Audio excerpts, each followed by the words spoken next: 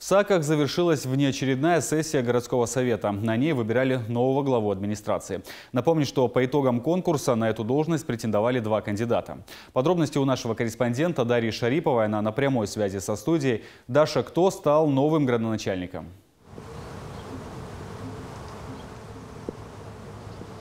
Да, коллеги, только что завершилась сессия Сакского городского совета, на котором главным вопросом стало назначение нового главы администрации. Депутаты единогласно выбрали Александра Авдиенко. Он сейчас находится рядом со мной. Здравствуйте, Александр. Расскажите, пожалуйста, на что вы делали акцент в своей программе по развитию города?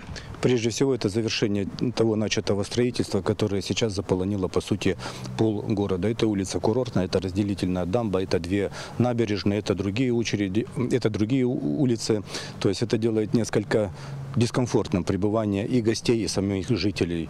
Стройки грандиозные, их надо завершить. Есть проблемные участки, проблемные вопросы, но нерешаемых вопросов нет.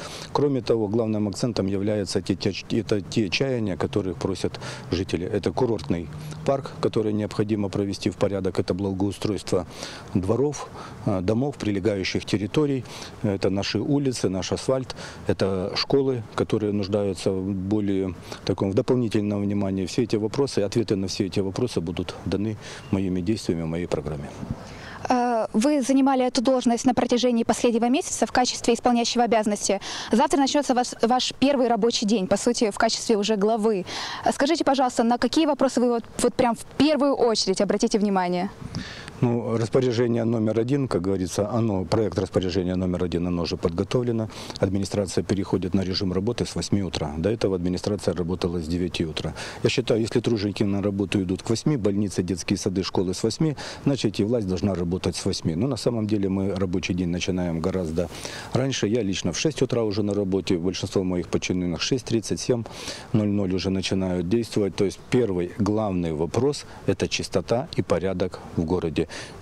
Есть с этим проблема, прежде всего во дворах. Есть вопросы даже к самим э, жителям, избирателям нашим. Вот. Но есть определенные договоренности, определенные надежды. Мы вместе сообща эти вопросы будем решать. Э, Сегодня на сессии депутаты задавали вопросы по поводу должности заместителя главы, и вы ответили, что он останется прежним. И хотелось бы узнать, будут ли вообще какие-то кадровые перестановки, и может вы захотите взять к себе в ко- команду кого-нибудь из конкурентов, тем более один из них, Тимур Асанов, сегодня подтвердил, что готов работать с вами. Может, возьмете его к себе? Тимур Асаманов э, хороший специалист, молодой человек, имеет достаточно большой потенциал.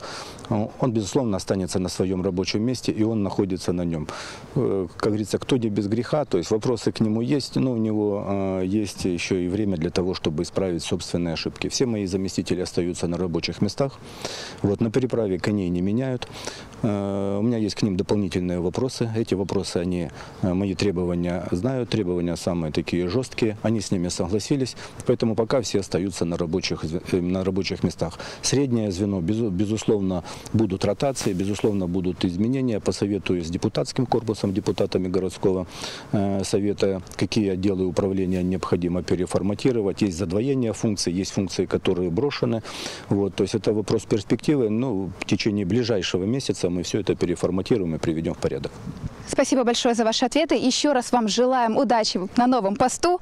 А я добавлю, что Александр Авдиенко будет занимать эту должность 5 лет, и за это время он может как раз решить э, реализовать программу развития города Саки. На этом у меня пока все. Передаю слово вам, студия. Спасибо, Даша. На связи со студией была наш корреспондент Дарья Шарипова.